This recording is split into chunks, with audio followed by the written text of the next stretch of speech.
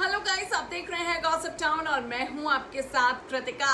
ईशा मालविया और प्रतीक सेजपाल का आ रहा है नया गाना, जिसकी कुछ तस्वीरें मैंने आपको दिखा दी थी। पर गाइस अब इस गाने की शूटिंग ना काफ़ी हद तक पूरी हो गई है और इस गाने की एक झलक सामने आ गई है। गाने का जो नाम है, जो, गाने के जो बोल है, वो फ़िलहाल साफ़ नहीं है। लेकिन हाँ ये दोनों इस गाने में ना लड़ाई करते नज़र आ रहे हैं। एक दूसरे के बीच में तकरार चल रही है नोक झोंक हो रही है।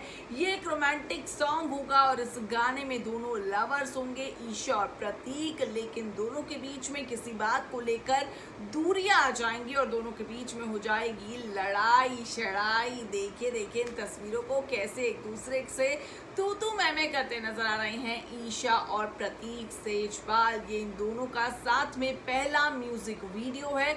इस म्यूज़िक वीडियो को लेकर ईशा और प्रतीक काफ़ी ज़्यादा यू नो एक्साइटेड है। इस गाने की शूटिंग कर रहे हैं, काफ़ी इंजॉय कर रहे हैं इस गाने के।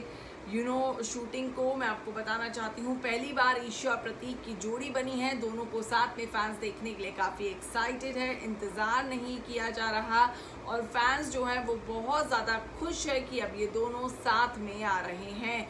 मैं आपको लगातार इन दोनों के इस गाने को लेकर जो भी अपडेट्स है, वो देती रहूँगी। तो प्लीज़ गाइज़ जो subscribe my channel gossip town video पसंद आए, वीडियो को लाइक और शेयर भी ज़रूर करिए। वैसे ईशा मालविया के पास इन दिनों काफ़ी सारे प्रोजेक्ट्स हैं, जिनकी शूटिंग वो कर चुकी हैं और तीन से चार गाने उनके रिलीज़ हो गए हैं, जो कि फैंस द्वारा काफ़ी पसंद भी किए गए हैं। और अब फैंस को इंतज़ार है ईशा और प्रतीक के इस नए प्रोजेक्ट का। कैसा लगा वीडियो? ज़रूर बताइए। इस वीडियो में इतना ही। देखते रहिए गॉसिप टाउन